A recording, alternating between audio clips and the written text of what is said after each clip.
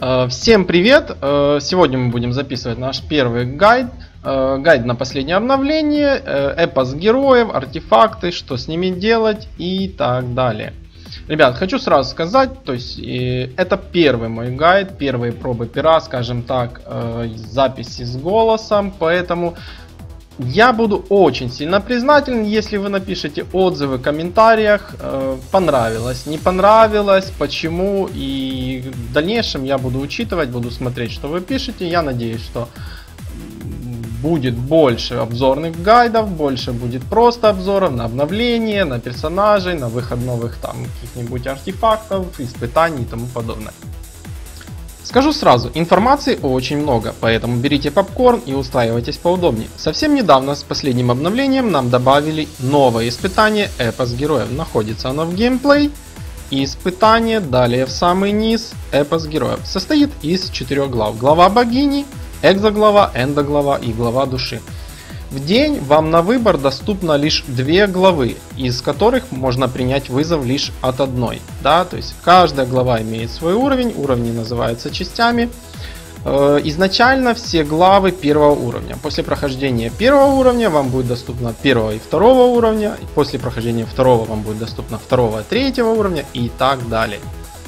В день можно пройти лишь одну главу, то есть одну, один уровень одной главы. Даже если вы там VIP, VIP, VIP, VIP, все равно нет больше попыток. То есть проходить можно лишь один раз. Призы, соответственно, с каждым уровнем увеличиваются, да, то есть если вот, например, первый уровень это 15 пламенных камней, вот таких вот камушков, да, для увеличения параметров артефакта, и вот такой топорик Перуна, да, то есть атака 10-20, маг защита, физзащита плюс 10 и уровень жизни плюс 450. На втором уровне камней немножко больше, 16, и тот же топорик. Уже с третьего уровня вам будет доступен э, набор реликвий, да, сундук набора реликвий. И уже смотрите скачок, да, то есть первый, второй 15-16 камней пламенных, то уже на третьей части 27. Скажу дальше. Э, четвертая часть вам будет доступна тот же сундук, он в дальнейшем будет в каждом уровне. И только будет улучшаться, увеличиваться количество пламенных камушков вот этих вот, да. То есть если в третий уровень это 27, четвертый 28, пятый 32, шестой 33, ну и пока весь дальше я не добрался, это максимально. Скажу так, сундук набора реликвий, он падает не рандомно, да, то есть э, у каждой главе соответствует определенный сундук с набором, да, то есть если глава богини это сундук набора благословения Одина, экзоглава это сундук набора реликвий сарацинов, и энда глава и глава души имеют одинаковый сундук, сундук с выбором трех наборов. То есть изначально вам, открывая сундук, дают на выбор три набора, а далее уже в самом выбранном наборе вы выбираете фрагмент. Каждый набор состоит, состоит из четырех реликвий. Да? Э, в эндоглаве и главе души это сундук набора э, реликвий. Вы выбираете воли фараона, гнева Авалона или горы Олимп. Да, и еще, то есть после прохождения каждого этапа, да, то есть э, в конце вам дается на выбор, как в стадиях, 4 карты. Вы переворачиваете и получаете один фрагмент. Далее еще вы можете купить дополнительно еще 4 фрагмента в зависимости от VIP, да, то есть от первого до последнего. Там, э, чем выше VIP, тем больше карт можно докупить. Стоимость карт платных первая карта 50 магических камней, вторая карта 250 магических камней, третья 450 и четвертая 650. Мое мнение, то есть э, больше, чем одну карту покупать не стоит. Да, если вы, конечно, э, там, не знаю, дочь Дональда Трампа и вам пофиг на бабки, то можно покупать все. Но смысла я в них не вижу, да. Тем более, что э, дают рандомные части, да, рандомный фрагмент. Если бы это был фрагмент на выбор, вы могли выбирать и в течение 20 дней вы 100% уверены были, что вы соберете артефакт можно было бы покупать хотя бы за 50 и за 250. А так я не вижу смысла. Максимум можно купить один за 50 магических камней, не более. Больше нет смысла. Смотрим дальше, да, то есть эти сундуки понятно. Э, дальше артефакты. Чтобы вставить артефакты, нужно в святынях сделать отверстие, то есть купить. Э, одно отверстие стоит 100 магич магических камней, второе отверстие стоит 150 магических камней и третье стоит 200 магических камней. Количество отверстий святыни зависит от количества богинь святыни, да, то есть если это святыня на одну богиню, значит отверстие одно, если на три, значит отверстие три.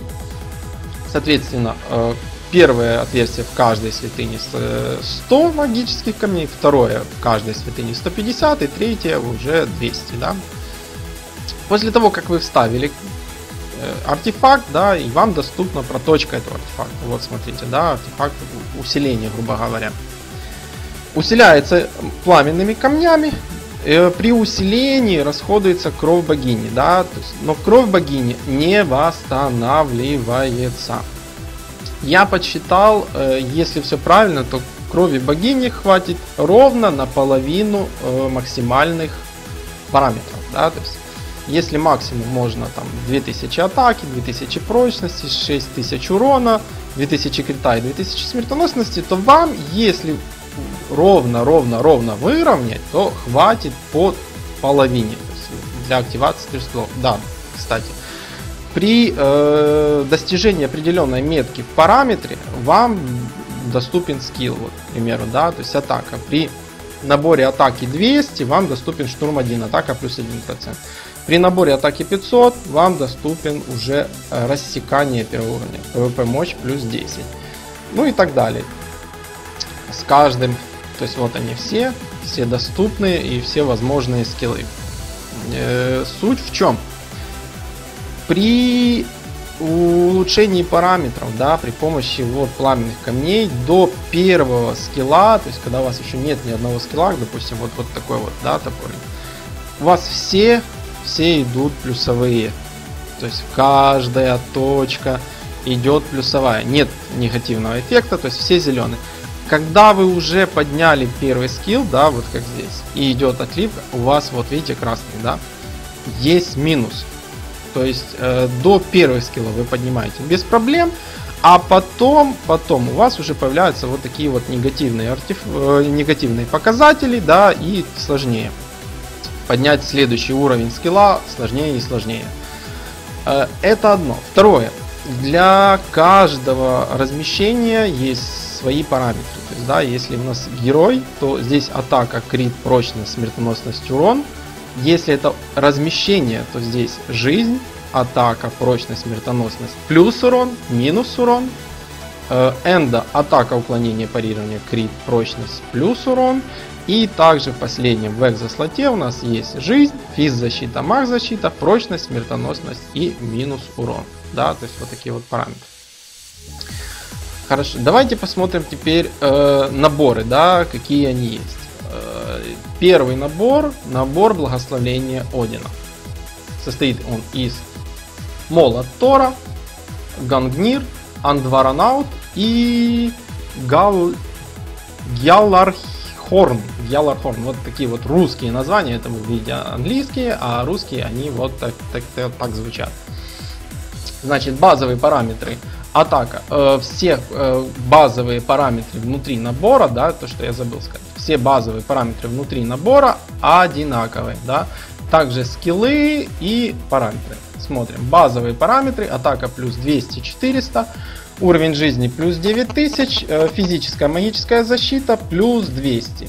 Священный скилл. Увеличение ПВП мощи на 20. Э, по поводу священного скилла, да, то есть есть одна, один маленький нюанс. Для того, чтобы скилл стал активным, то есть он заработал, он дал, начал давать параметры, вам нужно э, в определенном слоте, где будет установлен этот артефакт, да, э, вам нужно поднять определенный параметр до определенного значения. У каждого набора он свой, скажем так. Э, для набора благословения Одина вам нужно поднять смертоносность до 2000. То есть в определенном слоте поднимаете до 2000 и тогда активируется скилл, вот этот PvP э, Power плюс 20. Также есть э, сетовый бонус, да, то есть если вы одеваете два артефакта с набора, то вам дополнительно плюс 1% атаки. Если 3, артефакта с набора надето, то плюс 1,5% с атаки. Э, далее самое интересное это 4, то есть когда одето 4 артефакта с набора, увеличивается э, эффект от священного скилла. Плюс 50% Значит, получается так, что если вы оденете все 4 артефакта, активируете и получите бонус да, от 2, 3, 4, то вы получите не плюс 20 PvP Power, а плюс 30, то есть на 50% больше от каждого. То есть это суммарно с 4 по плюс 30, 120 PvP Power получите. Ну, этот набор, я не знаю, его практически можно одевать на любого, э, нет никаких ограничений, PvP Power по сути нужен всем, это защита, атака, поэтому я считаю, что он нужен всем.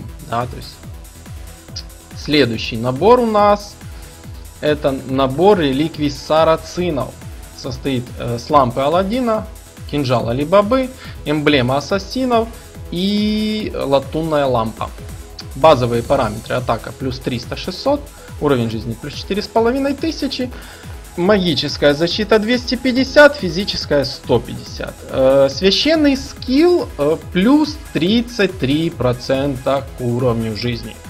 Немало, правда? Но для активации, опять же, нужно поднять 60 тысяч э, здоровья. Нужно поднять 60 тысяч здоровья на самом артефакте. То есть максимум, который доступен. Далее смотрим э, бонусы набора. Да, если две, два артефакта надето из трех, то есть это плюс полтора процента уровень жизни. Если три, э, это плюс 3% уровень жизни. Ну и также, если 4, то это плюс 50% к священному скиллу. То есть это будет не плюс 33, а практически плюс 50% уровня жизни за каждый артефакт. Это немало, я скажу, да, если взять какого-нибудь там Бахамута и накинуть на него такого, вот такое вот счастье, да, в древо 3, 3 артефакта по плюс 50%, то я, ну, сами посмотрите, что с этого получится. Это будет какая-то бочка жизни, я не знаю, что с ней делать потом. Вот. Далее смотрим э, набор воли фараона. Да. Он состоит из э, да, вот интересное, да, название английское A of Horse, а на русском звучит Wadget, да, то есть интересно перевод, хороший такой. Значит, Wadget, э, золотая маска, Анха и герб бога солнца. Базовые параметры. Атака плюс 200-400. Уровень жизни плюс 9000. Магическая физическая защита плюс 200. Священный скилл э, дает атака плюс 2% и комбо плюс дамаг увеличивается на 5%. Чем выше комбо, тем выше дамаг. Да? Для активации нужно 2000 атаки. То есть 2000 атаки нужно поднять на артефакте для того, чтобы активировался скилл сетовый бонус э, от двух, э, когда где-то два артефакта из набора, смертоносность плюс 2,5%, три артефакта, э, смертоносность еще плюс 5%, ну естественно 4 это увеличивается эффективность самого священного скилла на 50%. То есть это будет не 2% атаки, а 3 и комбо плюс урон уже будет 7,5%. То есть, да, если в древо закинуть 3 таких штуки, то мы получим плюс 9% атаки и плюс 22,5% плюс урона в, э, в комбо. То есть, да, это 100% набор для упырей. Вот. Смотрим дальше, что у нас есть. У нас набор гнева Авалона состоит из Грааля короля Артура, Экскалибура, э, короли, короны короля Артура и меч Нуаду. Ну, перевод русский интересный, да? Значит, базовые параметры. Атака плюс 300-600, уровень жизни плюс 4500, магическая физическая защита, магическая плюс 150, физическая плюс 250. Священный скилл атака плюс 2%. А также, и если на вас висит э, позитивный баф, да, то есть увеличивается урон, дополнительный урон на 3,5%. это не плюс дамаг, это именно дополнительный урон в ПВП, который поднимается вот при проточке камней, там тому подобное. Даже вот в описании написано, что это набор для воинов. Почему? Потому что только у воинов есть позитивный баф, да. Позитивный баф у них есть, э, который увеличивает их плюс урон, да, то есть это у них меняется четвертый скилл, увеличивается на баф на 7 секунд, там плюс урон, не помню на сколько процентов, там на, на 40 или на 60, кто там помнит, поправьте меня. В общем, э, то есть, если вы активируете этот скилл, то вы дополнительно получаете еще плюс 3,5% дополнительного урона. Да? Опять же, если оденете там, к примеру, 3, да, или 4, активируете все 4, да, то это получается сколько там? 14% плюс урона. И еще 50% от, набор, от э, бонуса набора. То есть вы получите не 14, а 20 плюс 21% урона. Ну не маленькая цифра на самом-то деле. Э, бонусы набора. Смертоносность плюс 2,5% при двух артефактах. Смертоносность плюс 5 при трех. И, естественно, при четырех э, увеличение эффективности священного скилла на 50%. Так, теперь последний набор горы Олимп. Э, состоит из щита и гиды, трезубец Посейдона, ящик Пандоры и Кадуцея. Базовые параметры. Атака 400-800, уровень жизни 3000, магическая физическая защита по плюс 150. Священный скилл, атака плюс 2% и бонус плюс 2%, плюс дем, плюс урон, да, плюс 2% за каждого призванного юнита. То есть, да, это опять же таки, да, если набор воли фараона это для упырей, набор гнева Авалона это для воинов, то набор горы Олимпа это вот сразу видно, да, что это для магов. То есть за каждого вызванного юнита э, вы получаете плюс урон 2%. То есть если вы поставили палку это плюс 2%, у вас есть герой в размещении это еще плюс 2, и вы вызвали мышу и еще плюс 2. То есть суммарно получается плюс 6% урона, да. Далее, от, э, активируется при наборе атаки до 2000 и с э, бонусы набора. От двух артефактов смертоносность плюс 2,5, трех артефактов смертоносность плюс 5 и также при четырех увеличение эффективности священного скилла на 50%. То есть вы будете получать от каждого артефакта атака плюс 3%, бонус дамаг плюс 3%, бонус дамаг, а плюс урон плюс 3%, ну, то есть, если, например, на маге вызвана, стоит палка, есть размещение и есть мыша, то есть, и, а также одето все четыре э, артефакта, каждый будет давать по плюс 9% урона, то есть плюс 36% плюс урона. Это сумасшедшая цифра, да, то есть как... Вот. Это вот что касается наборов, да. На этом пока все, ребят. То есть основные нюансы я рассказал. Э, скиллы, активации, все остальное. То есть вы понимаете. Э, всем спасибо, ребят. Пишите э, комментарии, что, что не понравилось, что понравилось, э, о чем еще рассказать. Ну, всем спасибо, всем пока. Ставьте лайки, подписывайтесь. Вам не сложно, мне приятно. Пока.